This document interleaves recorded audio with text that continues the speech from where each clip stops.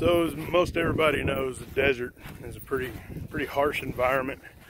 Um, it's hard to walk on, especially for the dogs. A lot of sharp rocks and all that. Well, after going in and out of town a few times, we noticed this big wash area that we drive over, and uh, looks real sandy. So we decided to stop and walk up this wash a little bit and give the dogs something soft, to, something to walk on, and uh, something soft other than sharp rocks. So that's what we're doing. So we're kind of walking around. I don't know if you can see, but it's uh, very sandy. Dogs love it.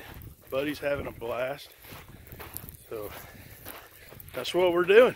Getting some exercise, enjoying the morning, and uh, letting the dogs have some fun too.